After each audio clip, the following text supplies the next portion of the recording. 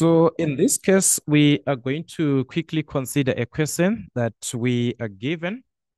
In the diagram below, triangle PQR is right angled at Q, meaning to say we are dealing or we are working with a right angled triangle, which is at point Q, where we have got a point of where we've got an angle of 90 degrees there it is given that PR is 34 centimeters. The length from P to R is given. And the tan of angle P is 5 over 8. We have got that.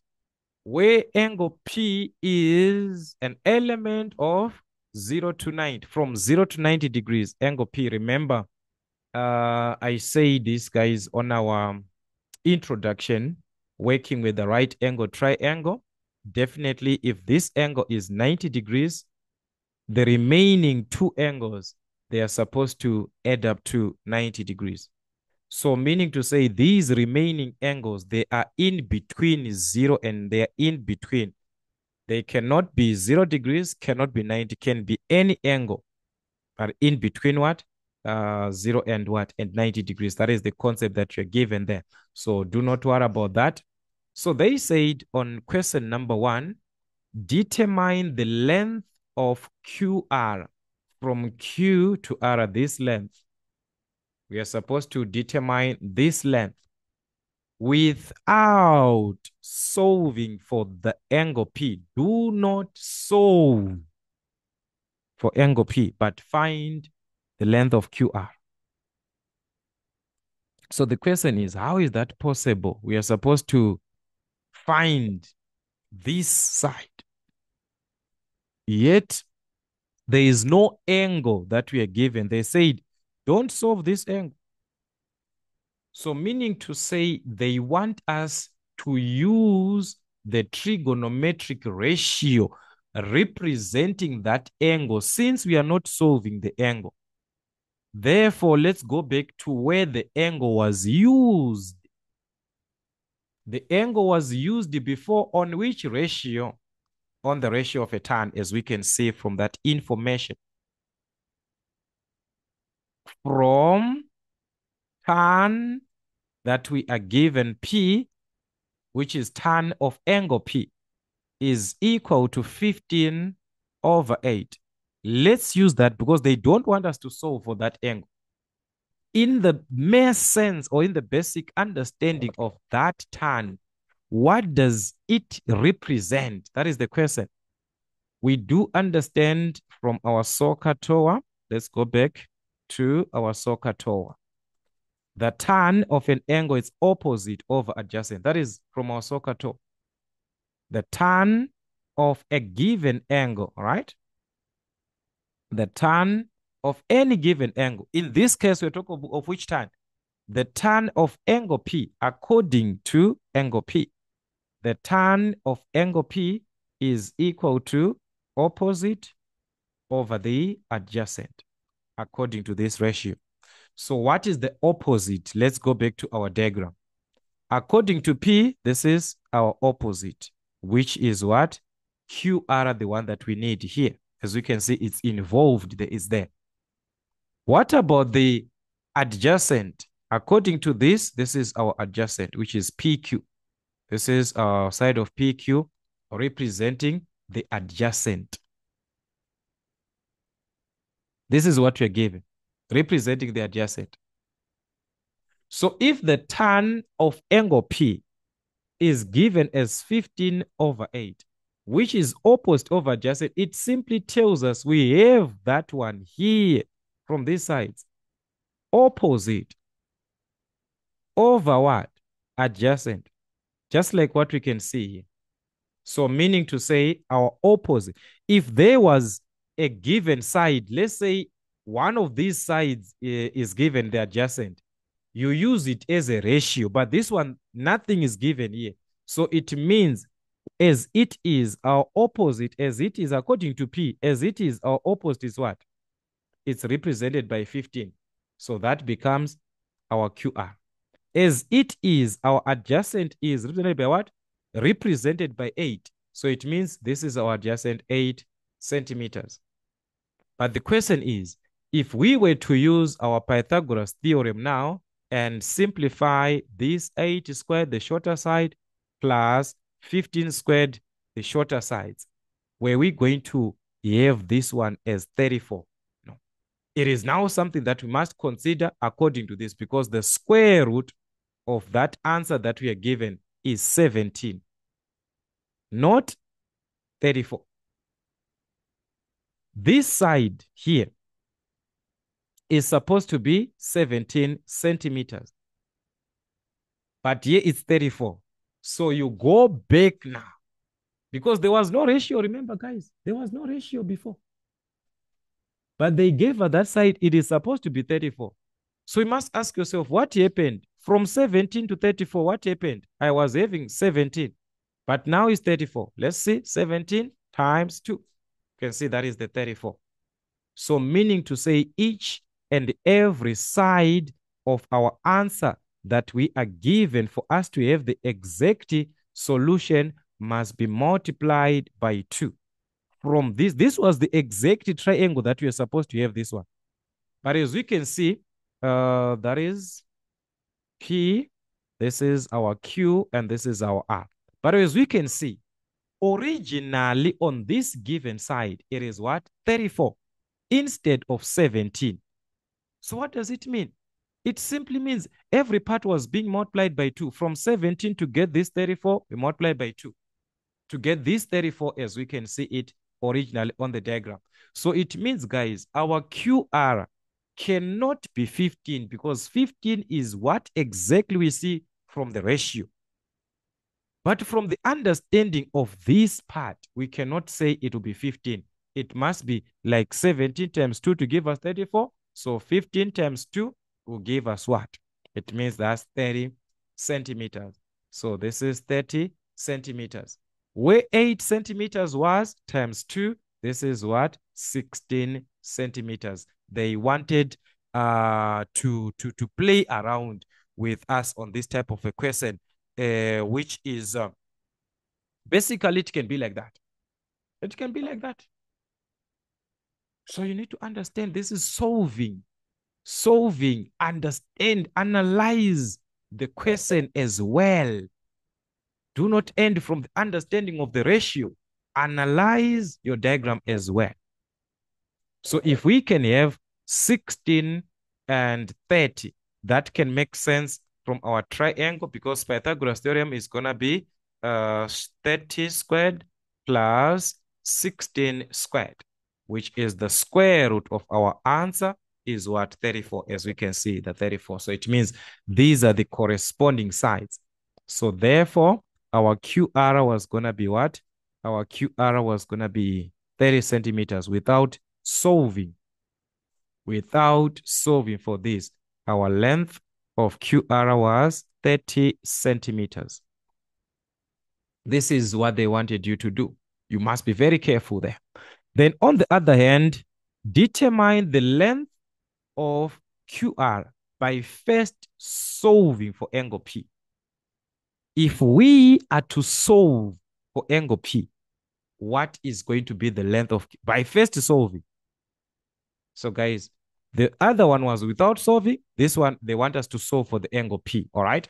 So you saw that without solving for angle P, there were some complications you adjust the question according to the diagram. But when you are to solve for this angle P, that is something which can be easier now for us to deal with, all right? So we're going to go back to this part that we had before. Uh, unfortunately, this one, we're not going to need this part. So let's get rid of this one. All right. So this is what we had. But they said we must determine QR this time by first solving for P. First, find angle P. First, we must find angle P. Solving for P. How do you solve for an angle? Remember, a ratio as it is given it represents an angle. The tan of angle P is equal to 15 over 8. The tan of angle, angle here, this one is the angle, this one. So the question is, we need to determine that angle now by solving for angle P first. So how do we solve? The angle P can be determined from arctan to get rid of the tan to this side. We cannot divide by tan on its own, divide by tan. It's, we, cannot do that. But we can write the tan on the other hand as arctan. So we can remove that by introducing arctan like this. So arctan, both sides. So introducing arctan cancels that arctan and the tan, these two, they do cancel. So you remain with what? With angle P. So angle P is equal to arc like this, arc, arctan, arctan, arc cos, arc sine. So these are the way that you're going to use. So arctan is simply from our calculator shift. You can see it on top there of tan. There's a tan raised to a negative one. So it's shift. You press the tan button. So that is arctan uh, 15 over 8. By doing this, you are finding the angle now. So this is what we're going to have 61,92. So this one, it is because the angle is the angle that we are given here. This is exactly what we have. But the moment we round off this answer, it affects our final answers at the end. So I'm just going to write as a rounded off value, but as we are using our calculator, we are going to use this one. So our angle is 61,93 uh, to two decimal place. It's going to be 61,93 uh, degrees. So that's, it was actually, there are so many values that we are given there uh, before rounding off. Before rounding off, it was actually 61,927 and so on and so on. This is what we had. So the question is now, as we have got the angle now here, we, we have got this angle. Because the question said by first solving. So we had to solve first. We had to solve for P. But what is it that we want? We want to determine the length of QR. Now that we have got this angle here, how can we solve for QR? We can solve it according to the triangle as we can see it, guys. To say, according to this angle P, the QR that we want to calculate, what is that you are given? QR represents what? According to P as our reference, because that is our angle. This is our opposite, what we are given. From the 90 degrees, this is our hypotenuse. So you are given the hypotenuse. You want to find the opposite. Which ratio are you going to use from that SOHCAHTOA now? Now you ask yourself this question. Which ratio am I going to use where there is hypotenuse and opposite at the same time? What you are being asked and what you're given. Don't worry about this third side. There's nothing that you want there. Focus on what you want and what you're given. So the ratio that has got these two is this one for a sine where opposite and hypotenuse are. So therefore, from this ratio, the sine of angle P that we are given must be equivalent to the opposite, which is our opposite is what? Is QR over the hypotenuse, opposite over hypotenuse, which is PR. So that's the sine of that angle as it is uh, 61,9 3. So in this case, I'm just going to use that one that the exact value 61,27 and so on and so on is equal to what? QR, the side that we want. So that is QR like this over what? PR, our hypotenuse, which is 34. So this was going to give us uh, the value of QR from this ratio, guys. We can even cross multiply, but this is the same as over 1. So we can cross multiply. So that is it. 1 times QR, that is uh, QR is equal to 34 is going to multiply the sine of that angle that you are given. So that is going to be 34, the sine of this angle, uh, 61,927, so on and so on. So that was going to give us the value of QR from this idea by solving for the angle first. Uh, so it's going to be 34 times the sine of that angle, the answer that we had as it is. I just want us to use the exact value. Yes, you can use uh 61,93, the rounded off value, it's fine. But as for me, I want to use the exact value. So as you can see, it was going to give us what? Exactly 30 because we used the exact answer there. So our answer was going to give us 30, which is what? 30 centimeters according to what we are given before. So that's it. These are the questions. That is how we can answer these questions. So under an exam, they are simply telling you to say this question can be answered in so many ways. It is in your hands.